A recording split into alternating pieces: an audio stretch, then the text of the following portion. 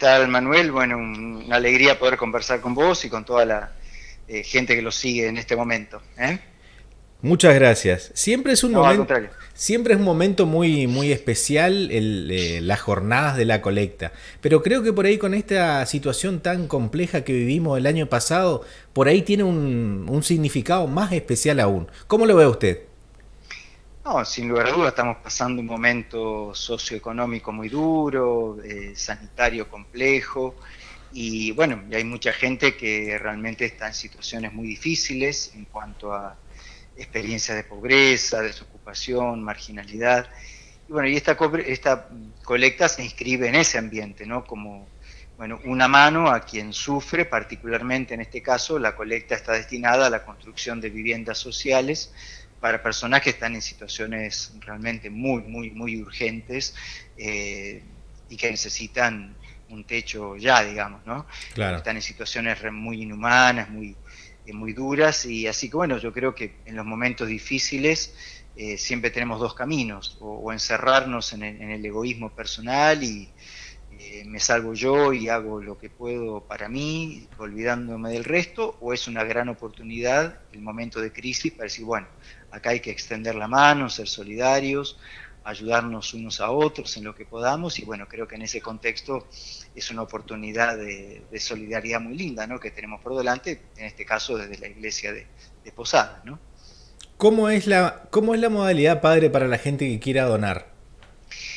Mira, esta es una colecta que instituyó nuestro obispo Juan Martínez ya hace muchísimos años y que se inscribe en el contexto del tiempo de la cuaresma, que es el camino de preparación a la gran fiesta de la Pascua, fiesta de vida, de resurrección, y es un tiempo donde quienes creemos en Jesús estamos invitados a encontrarnos más profundamente con Él, más profundamente con Dios.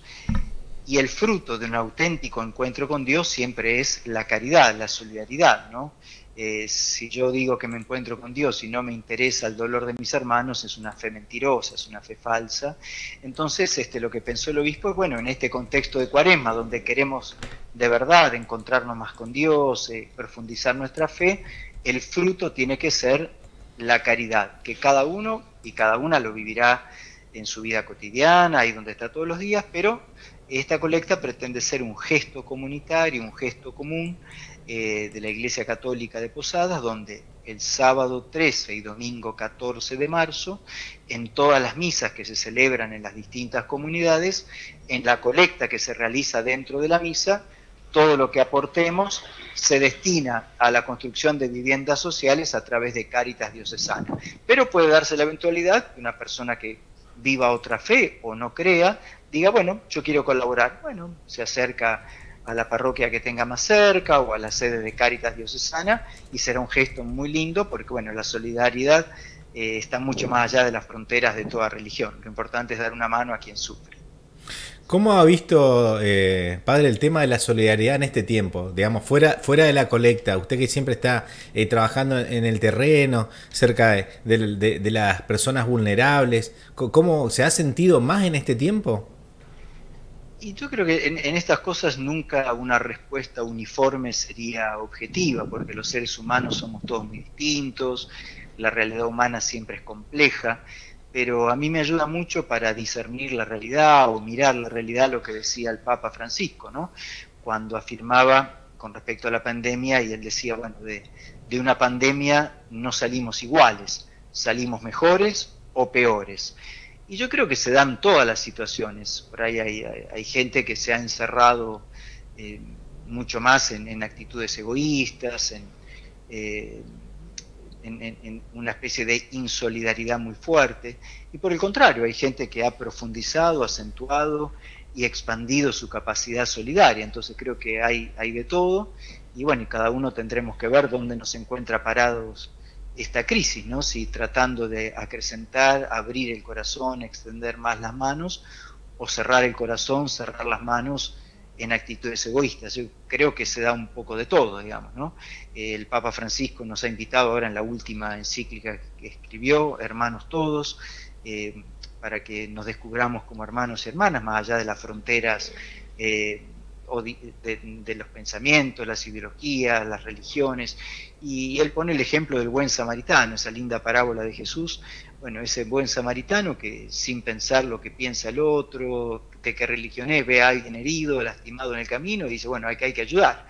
¿no? Hay otros que siguen de largo, un sacerdote sigue de largo, no le importa, y el samaritano se acerca, cura al herido, al que está tirado al costado del camino, y creo que esa es la imagen que el Papa Francisco nos, nos está invitando a vivir, ¿no? ¿No es cierto? La, eh, la, posibilidad de, dar una mano a, quien sufre más, al estilo del buen samaritano de la parábola que enseñó ya hace dos mil años, ¿no? Exactamente. Eh, padre, y con respecto al, al, trabajo posterior, digamos, ¿no? a la construcción de casas sociales, el año pasado, en plena pandemia, siempre aclaro para, para dimensionar el contexto, eh, levantaron alrededor de 50 casas sociales, ¿no? Con lo de la colecta. Un número importante. Eh, sí, a ver, 50 em, es el número habitual, más o menos, todos los ah, años. está bien. Eh, y el año pasado se pudieron construir 22. 22. 22. Porque, bueno, no, el año pasado no se realizó la colecta, porque justo se había suspendido eh, para alrededor, creo, creo, que el 20 de marzo comenzó la, cuarentena con suspensión sí, exactamente. De, actividades religiosas en todos los cultos. Así que, bueno, eh, justo nuestra colecta venía ese fin de semana antes, así que, bueno, no hubo colecta, pero con fondos que teníamos eh, de reserva para emergencias y bueno, gente que a lo largo del año se fue acercando, eh, por esto que decías vos, ¿no? de la solidaridad que crece también en, en los momentos de crisis, bueno, se pudieron construir 22 viviendas y, refaccionar dos comedores comunitarios, uno en el barrio El Porvenir, eh, Ñan de Gurises, y otro el comedor Don Bosco en Candelaria, que este, bueno, tienen que ver con, con cáritas de esas parroquias. ¿no? Este, así que bueno, esperemos que este año podamos volver a esas 50 o más, que era lo, habitual, pero bueno, em, gracias a, a, los fondos de reserva y la generosidad de mucha gente, al menos se pudieron hacer esas dos refacciones de comedores y 22 viviendas en un año difícil de mucha crisis, obviamente. Exactamente. Padre, muchísimas gracias por su tiempo. La verdad que siempre, siempre es bueno escucharlo.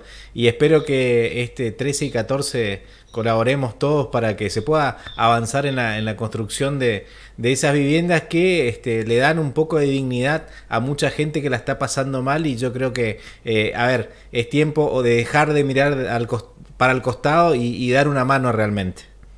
No, lo que decís Manuel es muy lindo y te agradezco el llamado, la conversación.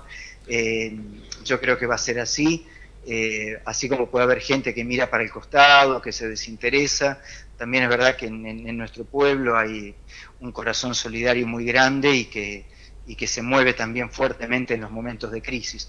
Obviamente con esta colecta no, no, no, solucionamos el déficit habitacional enorme que hay eh, en muchos lugares, pero pretende ser un gesto, un gesto de decir, bueno, no puedo prepararme a la Pascua siendo indiferente al que sufre, ¿no? Y, y prepararse bien significa acrecentar la solidaridad. Así que te agradezco enormemente el llamado, Manuel.